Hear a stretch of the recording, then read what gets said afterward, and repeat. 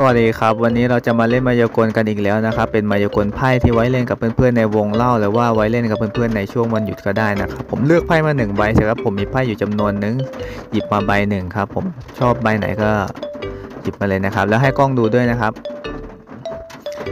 โอเค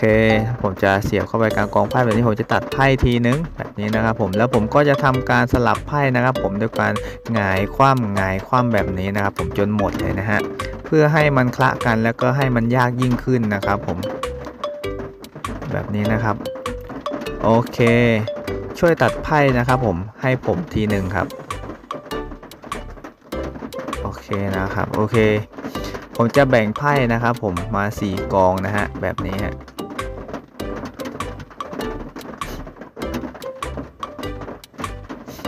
แล้วผมก็จะทำการทับไพ่แบบนี้นะครับผม โอเค ตอนนี้นะครับผมดิดนิ้วทีนึง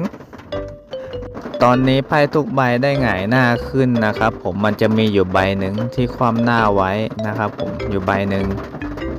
ใบนั้นก็คือเลข เปิดดูเลยครับ โอเคครับ